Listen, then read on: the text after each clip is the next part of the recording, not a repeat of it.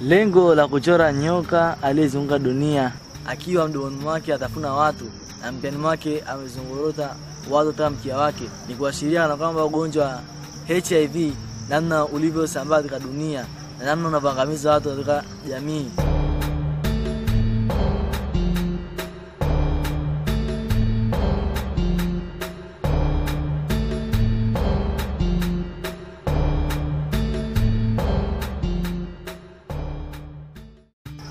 Kama kuwapa watu elimu kwa njia ya picha.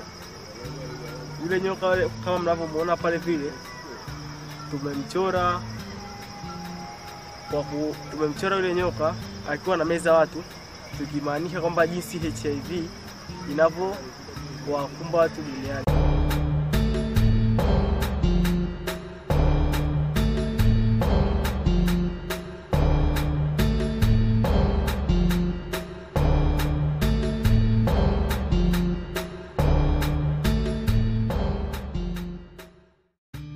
Tunachora kwa sababu ya kufikisha ujumbe katika jamii kwa kutumia picha ili watu waweze kuelewa kuhusu maambukizi ya virusi vya ukimwi.